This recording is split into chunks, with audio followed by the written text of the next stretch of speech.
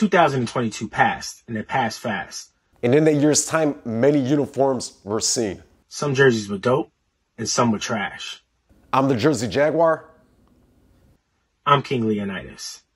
And on this Sunday, January 8th, at 10 a.m. Eastern, me and Leo are going to give you our 10 best uniforms that were worn in the calendar year of 2022. And the clock is ticking.